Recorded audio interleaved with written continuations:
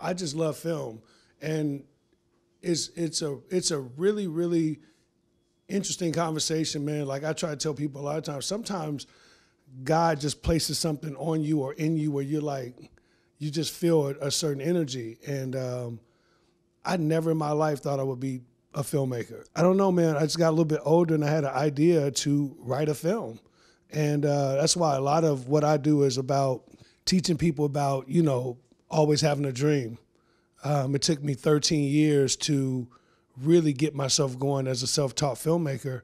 And uh, once I got the door a little bit cracked independently, I haven't stopped. And I think that's just more of like a hustler's mentality in terms of like you going. Some people stop and celebrate like, "Ooh, I made this movie." When they see this one, baby, it's on.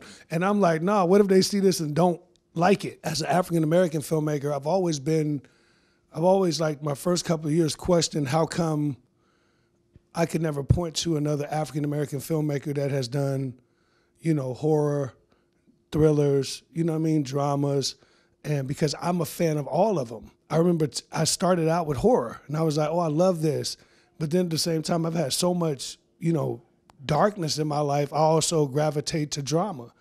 And uh, I remember asking somebody like, "Man, I got this really good idea. I, I bet it'll win some awards." And someone's like, "Well, you can't do that. You make horror movies." And I'm like, well, "That's odd. you know why? Why can't I?" And um, I decided to be, you know, the first person that could jump and blend genres. And um, I'm happy I did that, you know. But now I'm just to the point where I have really adapted a style in terms of like I know what I want to do with the camera, I know what the story is, I know what I'm trying to deliver, I know what my message is within the storyline, and uh, we've become more of a a very creative uh, niche factory. We don't have a lot of money ever.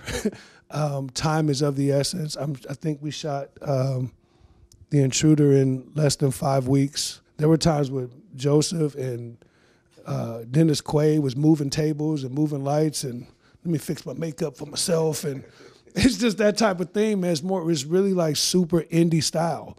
Um, but but with an edge, you know, with the with an idea of what we have to do. You need somebody who is going to lead the team and is the really everything happens from the top. Everything bleeds down from the top and Deon being on the top really facilitates an environment where creativity is electric and let's do this, let's do that. He's a constant machine, constantly moving forward. He doesn't get hung up on anything.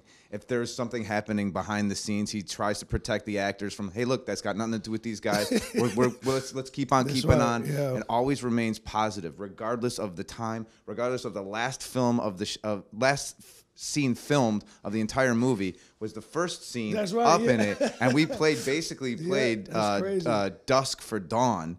And it was just we had That's we had we, uh, uh, Omar Joseph, the uh, second unit director, basically said we had three minutes until it was like this outside, and we were just like we have one, and then the next one he was just like you cannot miss this mark, Joe, and I'm just like all right, Yeah. but it was still just this sense of pride and joy and we are going to finish this. So it's a really it's a team is only a team if a team has a leader. And uh, Deon was just a great leader and a joy to work for